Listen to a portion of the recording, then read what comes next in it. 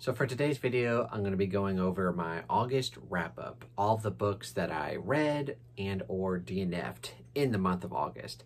And August was kind of an up and down month. I had a, a bunch of DNFs, but I also had a bunch of five-star rereads and five-star brand new favorites. And so yeah, that's what we're going to be chatting about here. And my apologies for not releasing some videos the last couple of weeks. Uh, work has been quite busy for me and it's hard for me to balance work, reading, and filming. Usually one of them suffers when I have to work. So I, you know, it's usually filming that I stop because I love to read, obviously. So, but I have two days off in a row now. I'm filming this on the 1st of September. So yeah, you know what? Let's just go ahead and jump right into it. So let's just get these DNFs out of the way. Um, the first one, sadly, that I'm going to be DNFing is The Burning White by Brent Weeks. And we did a read along for this over on the Bookish Drummer Discord. Most of the people who read this series ended up really enjoying it. And you know what? It started off great.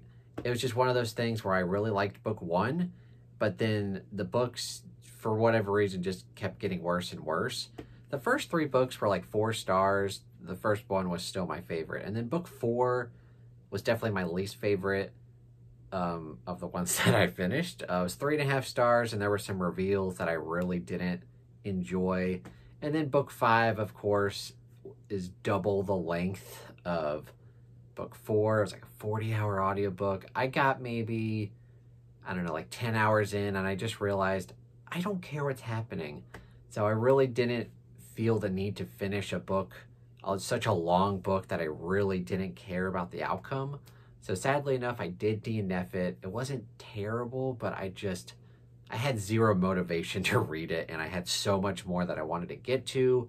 So sadly, I DNF'd it. It's definitely, I, even if I did push through it, I knew it was not going to be a new favorite. So yeah, The Burning White, definitely not my favorite. I did not finish it. I also DNF'd Seven Deadly Wonders by Matthew Reilly.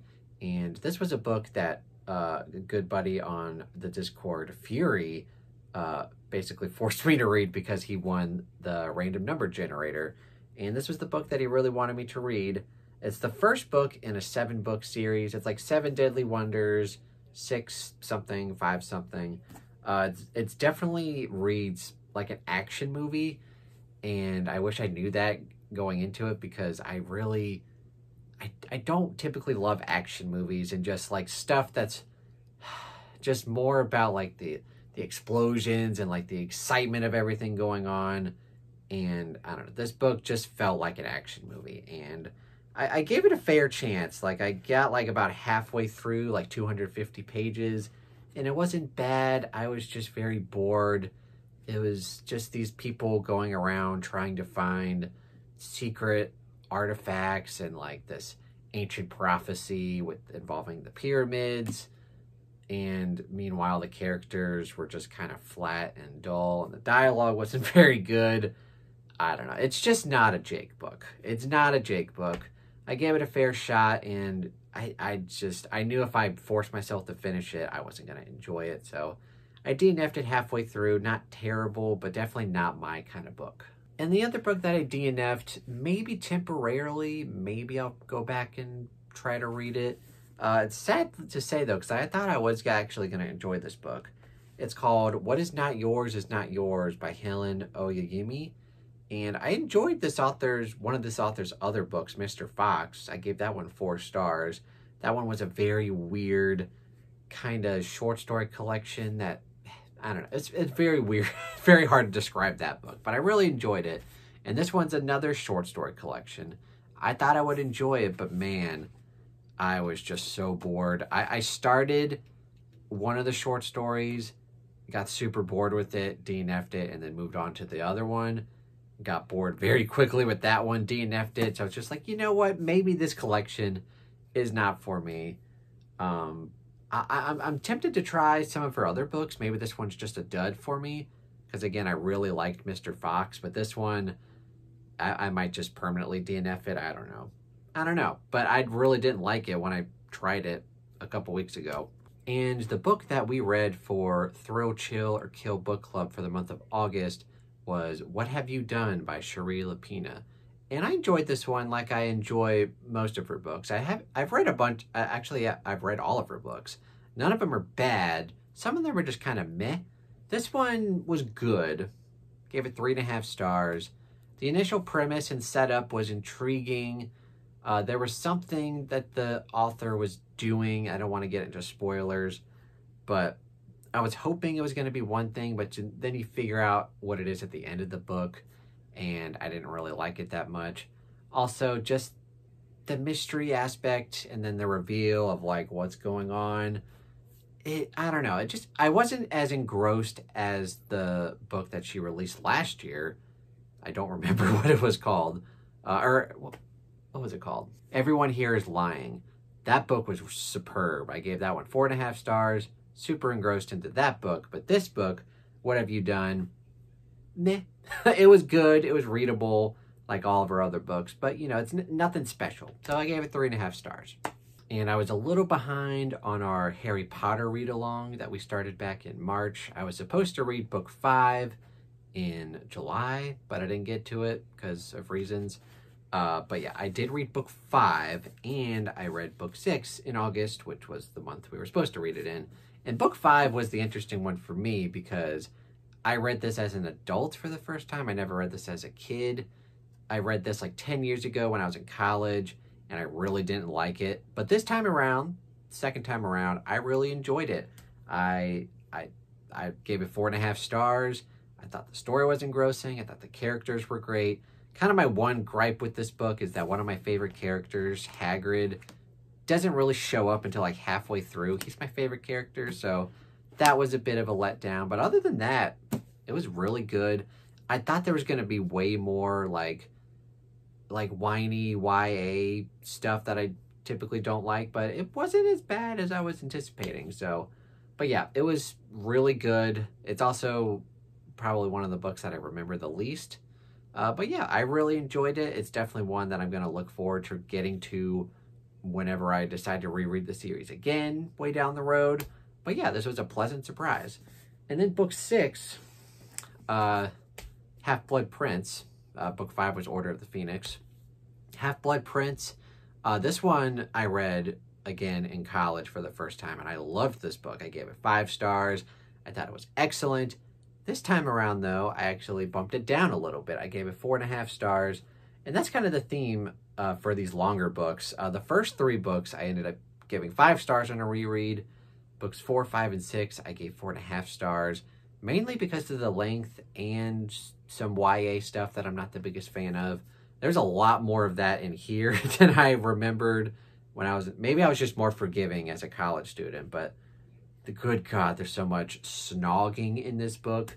I hate that word, but yeah it's it's still really good and probably my favorite chunk of the book is the last 100 pages very tense very good writing and just the climax of the book is really good and worth reading but yeah overall very good the mystery aspect is top notch and yeah it's still one of my favorites but yeah some YA stuff really brought it down for me but yeah so that's Harry Potter and then we're gonna of course read the seventh book in September the finale. So definitely looking forward to that. We also read The Martian Chronicles for the Ray Bradbury Book Club. And this one I remember reading, and it wasn't really one of my all time favorites by Ray Bradbury. I kind of saved that for like Fahrenheit 451, The Illustrated Man, The October Country. Like those are really good. This one was pretty good. And I thought the same, the themes, I thought the same thing upon a reread solid four star collection. It's kind of a fix up novel where, like, it is a collection of short stories, but they're told in chronological order. So there is kind of a story to it, if you can call it that. It's really good. It's about humans colonizing Mars and they're getting there, then they're figuring out what's going on. It's definitely dated because, you know, there's it's from the 50s, but it's really good solid four star collection, and I'm glad a lot of people got along with it for the Ray Bradbury Book Club. Uh, the next book that we're doing is Driving Blind in September, which is kind of a more obscure Bradbury collection, but I remember really enjoying it, so definitely check out that. But yeah, Martian Chronicles, solid four star collection. Another reread, which I was definitely looking forward to because it's my second favorite series of all time, is of course Words of Radiance by Brandon Sanderson, the second book in the Stormlight Archive. And this is definitely my second favorite Stormlight book. My first is still always going to be The Way of Kings. Such a fantastic entry to a fantastic fantasy world. Uh, but yeah, this book, it it just continues with it, and the characters, you learn more about them, especially a certain character. I don't want to give spoilers, but it's so good. Like, what can I say about Stormlight that hasn't already been said? I think this is the third time, maybe the fourth time I've read this book it and it's funny too because like you you read it and then you kind of forget if you you remember the big things but then there's small details uh, that you don't remember and you're reading it and you're like oh oh yeah i forgot that happened. Crap. That happened to me in this book where you know Kaladin, i can probably say his name uh, he kind of figures out something about another character and then he's like oh and i forgot about that i was like oh yeah crap. But yeah it's always fun to revisit these books because they're so long. It's hard to remember everything that happens in these books. So it's always a fun reread. And of course, I'm trying to reread all of the books in anticipation for book five coming out in December. I'm definitely going to devour that book when it comes out. But yeah, I had a fantastic time with Words of Radiance. Uh, three stars. no, I'm just kidding. Five stars. And then uh, one of my most anticipated books of the year is the sequel to Baby Teeth, which I reread again. I think this is the third time I've read this book. Five stars, one of my all time favorite horror books and just favorite books in general about basically a seven year old girl who wants to hurt and possibly kill her mother. Very good, and Zoje Stage is just fantastic. I love all her books. And wanted you know what? She wrote a sequel to Baby Teeth called Dear Hannah. And big shout out to Ian who gifted this book to me and Stacy, although it came a week late and we had already read it by then. but thank you nonetheless. Um, I'm still glad to have the physical copy. But anyway, you're probably curious about what I thought about the sequel. And I loved it. One of my favorite books of the year. Probably right now it's sitting at maybe my first, but probably my second favorite book of the year. Still behind just Like Home by Sarah Gailey, which is impressive because, man, that book is so weird, but it's so good. But yeah, Dear Hannah, a, a very competent sequel to Baby Teeth. I still like Baby Teeth more, but this book, and of course, I can't really get into spoilers, but basically, you follow the events of Hannah's life as uh, an adult, and you see how her thought process works as an adult. It's very creepy. And just to see her in more of a domestic setting after you know about her childhood and there's like hints of like what goes on after the events of baby teeth kind of sprinkled out and you're trying to learn more about that while creepy stuff is happening with her as an adult it's so good and my, i guess a minor spoiler she does leave it room open for another possible sequel, which I want to read right now. but yeah, just know that Dear Hannah, fantastic sequel. Uh, a few people read this book and they really enjoyed it, but they, they liked Baby Teeth more, obviously, and they gave this book more four stars. I think three people read this and they gave it four stars. Of course, you know, Zoje Stage, it's hard for me not to give one of her books five stars, but man, Dear Hannah. It was so good. Definitely one of my favorite books of the year. Fantastic. I also read my Patreon pick of the of the month of August, which was picked by Bran. Uh, and the book that he wanted me to read was Between Two Fires by Christopher Buehlman or Buehlman, however you say that. And this, this is definitely one of my favorite covers. Uh, sadly to say, though, I'm probably not going to keep this book. Uh, I didn't hate this book by any means, but I didn't love it either. I gave it three stars. I definitely liked it more than his other book, Blacktongue Thief, but I kind of had similar issues. It was definitely more magnified in Blacktongue Thief, but it was still kind of the same complaints where I don't know, the pacing is kind of wonky where there's a lot of meandering. Like, you, you kind of get like a premise of like what they're doing, but like the journey to get there just feels very meandering. And also the characters I wasn't really a big fan of, especially there's there's kind of two main characters. There's like an, an older kind of gruff guy, just rough and just like you know, he's he's had a tortured past and you know, he's not a very a, kind of a morally great character and then there's this little girl who is super annoying. I'm sure people really like her, but every time we got dialogue with her, I was just like like nails on a chalkboard. I really didn't like her. And uh, admittedly, there are some cool stuff in here. There's some cool monsters.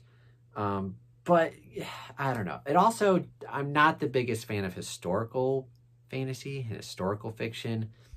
And this takes place in real life in the 1300s during the Black Plague. Uh, I think in France, or like they're on their way to Paris in France or whatever. Um, but yeah, I, I have a hard time suspending my disbelief when it like like stuff like fantastical stuff is happening on earth. Normally i kind of have a hard time suspending my disbelief for stories like this so that in and of itself you know kind of leads to my lower rating. Not a bad book by any means. I read it pretty quickly. I was somewhat interested to find out what happened uh, the ending was kind of weird i wasn't totally sure what happened uh, but yeah, overall, definitely not a new favorite. I probably won't be reading any more Christopher Buehlman. Uh, but yeah, not a terrible book, but definitely not a Jake book. Sorry, Bran. And then I had two more books that I really wanted to get to in August, but work got very busy. And, you know, like I'm a postal worker and like it's super hot out in August. And when I get home, I just have very low energy to do anything. I, I normally just go home and watch YouTube and if, if I were to put an audiobook on or something, I would probably just fall asleep very quickly. So I wanted to read Age of War, which I didn't get to, which I'm going to have to read in September. And then, like I said, I'm filming this September 1st, and I just finished the, the other book that I wanted to finish in August, All the Sinners Bleed by S.A. Cosby. One of my all-time new favorite authors, and he's going to get bumped up because of this book because I gave it five stars. Yes, another five star favorite. And also a new release. I've had a lot of really good five star new release books, and this is definitely one of them. Definitely one of my favorite books I've read all year. I think I still love his other book, Blacktop Wasteland, just a bit more, but this one or this one is definitely my second favorite of the four books that I've read by him. I think we go Blacktop Wasteland, all the Sinners Bleed, Razorblade Tears, and then My Darkest Prayer at the bottom. They're all great books, though, but this one just had me on the edge of my seat. The characters, as always, were fantastic. The initial premise was just so dark, and man, the, the, this book goes places. And it also has kind of the inner battle of you know, uh, uh, faith and religion, and you have a main character who's really battling, struggling with people all around him being religious and him not really so much. And I really, you know, I, I really enjoyed that. Um, but yeah, this book was so good. And the ending was great. I just finished it. And yeah, it was fantastic. Um, definitely check it out if you're an S.A. Cosby fan. But yeah, definitely one of my favorite books uh, of the year, and uh, not my favorite of the month because Dear Hannah was just top notch. But man, I'm glad to keep getting some more five star reads. I was I was on the struggle bus for most of the year, but yeah, another five star read, and yeah, this book was amazing. I can't wait to check out more from S.A. Cosby, although I think I've read all of his novels that have been released. I'm just going to have to wait for more to come out. I think he's going to be writing uh, maybe not a sequel, but a companion novel to Lisa Jewell's book Breaking the Dark, which came out earlier this year. I also gave five stars. He's going to be writing a Luke Cage Marvel novel. And I was very reluctant with um, Lisa Jewell's Breaking the Dark. I was like, I love Lisa Jewell, but it's Marvel, which I'm not a big fan of. but I still loved it and gave it five stars. So I'm definitely anticipating S.A. Cosby. Like I'm, I'm definitely more intrigued with it now. I don't really like again, not a big Marvel fan. I know, like Luke Cage is mentioned a little bit in Breaking the Dark, uh, so I know a little bit about him, but I don't really know too much. But I'm, but I, I have a lot of faith that S.A. Cosby is going to do the character justice. So very excited. But yeah, all the sinners bleed, five stars, excellent. All right, that is my August wrap up. All of the books that I managed to read and or DNF in the month of August. So like I said, I had three DNFs, which is a lot for me in one month. Usually, typically I'll have like one DNF, like I'm reading a book and I'm just not feeling it. But three is quite a bit. Um, but I also had a bunch of five stars. Uh, two of them were new to me, like new release books that I, well, actually, no, wait. All the Sinners Bleed came out last year. It's new to me. this is what I'm trying to say.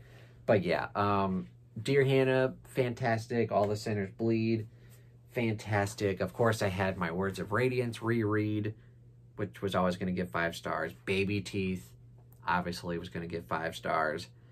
Uh, both Harry Potter books that I read were obviously fantastic, but four and a half stars, solid reads. Martian Chronicles, four star reread. What have you done? Shari Lapena, three and a half. Uh, it was decent. Uh, and then Between Two Fires, three stars. Not a new favorite. Uh, and then I wanted to get to Age of War uh, but I ran out of time because of work stuff. But it's going to be the first book that I pick up in September. And like I said, I'm filming this September 1st, so I'm probably going to be starting it tonight, which which might mean I'm going to fall a bit behind of all the books that I wanted to get to in September, which that video will come out soon my September TBR. I don't know if I'll get to all those books now because I have to add another book to it, but we'll see. But anyway, definitely let me know what you thought of the books that I read in August. Let me know if you've read them and what you thought about them, and also what were your favorite books that you read in the month of August. I'd love to chat with you down in the comments below.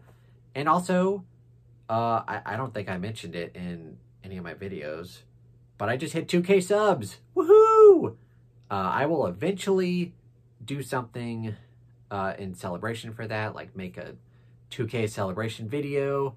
Uh, I will possibly do a book giveaway, and I will eventually do a live stream with y'all uh, where I do like a Q&A, like you guys can prepare questions in like my video, and then that stream I'll be answering some questions, and y'all can ask some questions in that in that live stream, and I'll, it'll be a fun time. But yeah, 2K subs. I, I thought I would be hitting this milestone towards the end of this year, like maybe November, but it's already happened and I could not be more excited. And thank you guys so much for continuing to support the channel and watching my silly videos. Thank you so much. And with that said, thank you guys for watching this video. If you enjoyed it, you guys know the drill. Like and subscribe, and I'll see you in the next one. Also, uh, Patreon and Amazon wishlist down below and Bookish Drummer Discord, where we've got so much stuff happening. Uh, uh, Harry Potter read along is going to end. Uh, Legends of the First Empire still going strong. Ray Bradbury Book Club. Uh, we're going to be starting the Stephen King Book Club in October, starting with Under the Dome, Thrill, Chill, or Kill, Patreon. Like, we, we've got so much stuff happening. So join us for any of that stuff. And again, thank you guys so much and have a fantastic day.